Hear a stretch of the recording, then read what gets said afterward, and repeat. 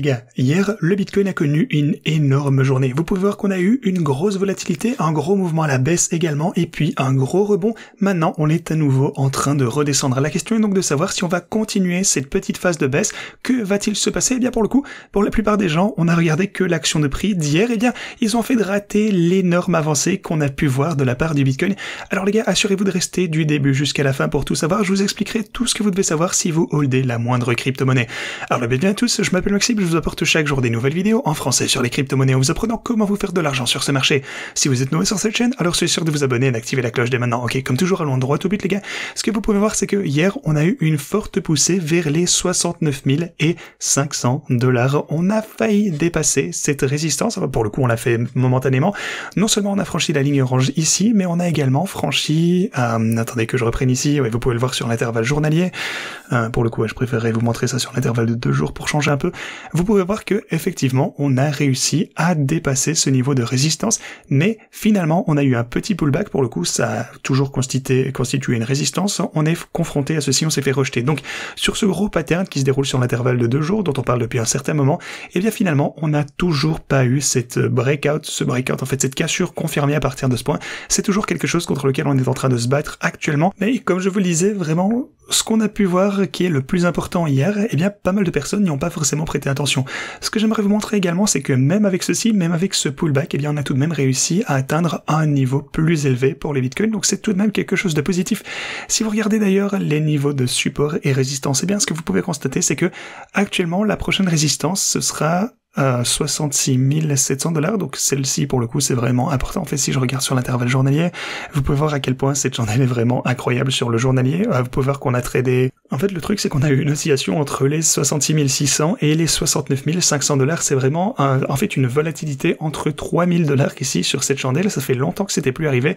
Ça vous montre vraiment à quel point la journée, eh bien, a été extrêmement volatile. Euh, pour le coup, si j'active les moyennes mobiles de ce côté, vous pouvez voir qu'on a les gros niveaux de support ici. Pour le coup, la boîte orange à 63 000 dollars, eh bien c'est vraiment extrêmement fort, renforcé par la moyenne mobile. Maintenant, on a la moyenne de 200 jours ici et la moyenne de 100 jours ici à 64 600. Donc, si jamais on perdait ce niveau des 66 000 et 700 dollars, cette ligne orange, eh bien on a toujours un gros support de ce côté. Donc vraiment, tout se présente pour le mieux actuellement. On est en train de récupérer lentement mais sûrement de la force. On verra quand on pourra avoir un peu plus d'élan et finalement franchir ce point également. Je pense que ce n'est qu'une question de temps. Vous le savez. Ok.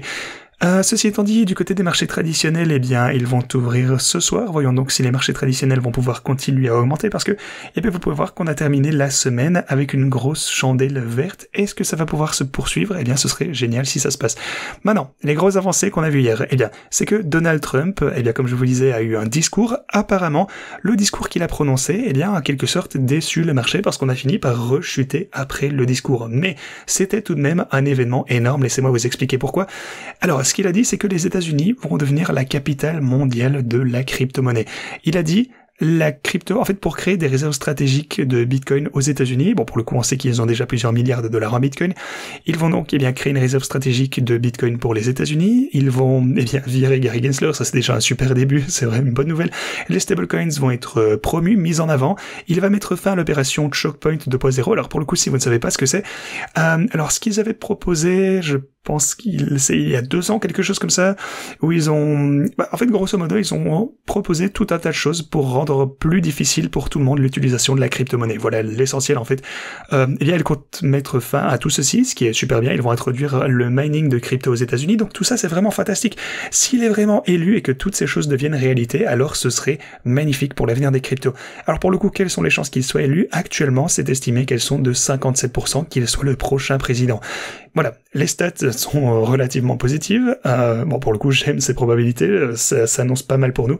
On verra si ça va réellement se produire et si il remplit évidemment toutes ces conditions si jamais il est élu, ce qui est une autre chose également. Euh, sinon, un autre truc que je voulais vous dire, c'est qu'il y a également eu quelques rapports différents selon lesquels cette fois Kamala Harris essaie en fait de proposer des choses plus favorables aux crypto-monnaies également de son côté si jamais elle venait à être élue. Euh, alors pour le coup, forcément, c'est la deuxième euh, je pense que ça va être l'une de ces deux personnes. Enfin, c'est presque certain, on verra bien. Évidemment, on préférait que Donald gagne. Si vous êtes optimiste quant aux crypto-monnaies, je pense que c'est ce qui risque de mieux se passer. Alors voilà déjà ce pourquoi se préparer. Euh, mardi c'est un grand jour, mercredi c'est un grand jour, jeudi et vendredi également, tout au long de cette semaine en fait. Ça va être une semaine vraiment chargée, euh, donc vous avez vraiment un tas de données qui vont être publiées. Ça aura également un impact sur les marchés traditionnels, donc sur les cryptos. Sinon, la capitulation des mineurs, eh bien c'est en fait terminé ici sur les rubans de hachage. Généralement c'est un bullish. Pour le coup vous les connaissez, euh, les rubans de hachage on en parle de temps en temps et ils sont en train de repasser en mode positif actuellement.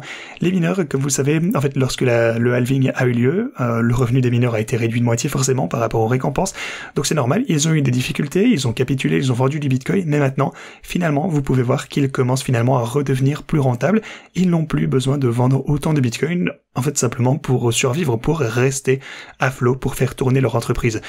Euh, sinon, la prochaine réunion concernant le taux d'intérêt, pour le coup, vous pouvez le voir ici, on n'a que 6% de chances qu'ils réduisent déjà les taux d'intérêt lors de la prochaine réunion, donc c'est vraiment improbable. Cependant, lors de la prochaine réunion, qui aura lieu en septembre cette fois, eh bien on estime à 88% de chances le fait qu'ils réduisent finalement les taux d'intérêt de 0,25%, donc 25 points de base, et puis on a 11% euh, qui estiment qu'ils risquent de les réduire de 0,5. En gros, euh, voilà un petit peu les choses auxquelles s'attend. Le marché pense qu'il n'y a aucune chance qu'ils ne réduisent pas les taux d'intérêt en septembre. Alors pour le coup, c'est plutôt quelque chose qui m'inviterait à la prudence. Il faudra surveiller ça de près parce que si les taux d'intérêt par contre ne baissent pas en septembre, euh, comme je viens de vous le dire, le marché pense que ça va être le cas presque à 100%, eh bien ce sera vraiment une mauvaise surprise. Bon pour le coup, on en est encore loin, les stats peuvent encore changer, on a le temps de voir venir, on verra ce qui va se passer, mais soyons prudents. Sinon, pour les stratégies trading, eh bien vous pouvez voir qu'elles ont pas mal tradé cette volatilité, euh, et étant donné que le deuxième bot ici a une position importante, eh bien finalement on est passé à ouais on a fait plus 5000 dollars euh, juste hier. Bon maintenant on a encore rechuté évidemment parce que le prix du Bitcoin a baissé, on a encore accumulé de grosses positions, mais tout va toujours pour le mieux. Ici euh, vous le voyez en étant hausse de 10% et presque ouais, 9% ici.